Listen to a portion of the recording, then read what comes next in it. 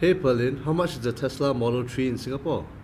Well, the standard range plus starts at about 113k, and then the performance range goes up to about 155k without COE. Are there incentives in owning a Tesla in Singapore?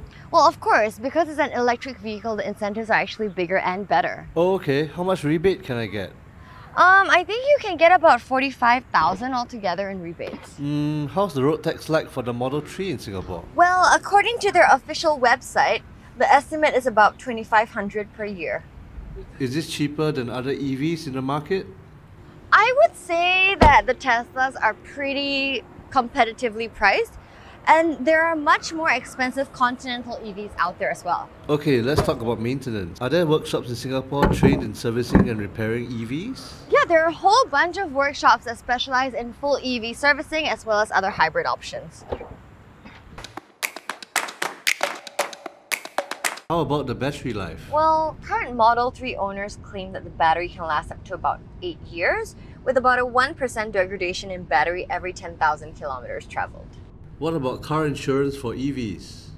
Of course, there's still going to be insurance. It's just maybe slightly more expensive than a traditional car. Okay, how about the panoramic sunroof in our hot climate? And yeah, of course, the sunroof definitely lets heat in, so maybe it's not the best idea to park your car underneath the scorching hot sun.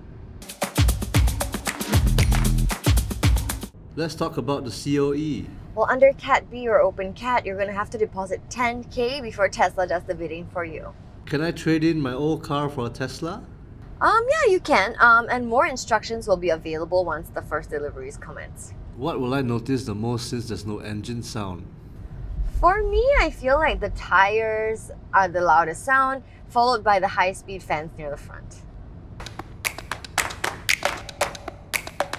Um, what about the build quality with this car? Well, let's just say the build quality has improved significantly since it first launched. Mm, power and handling?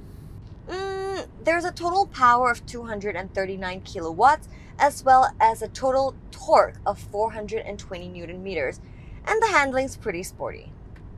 Mm, is the connectivity subscription expensive? Well, there's a standard option and a premium option, and they start at $20 per month. Um, should I wait till 2022 to get a Tesla? Mm, given how fast they're improving, if you're worried about manufacturing issues, then maybe it's best if you wait just slightly longer. See you!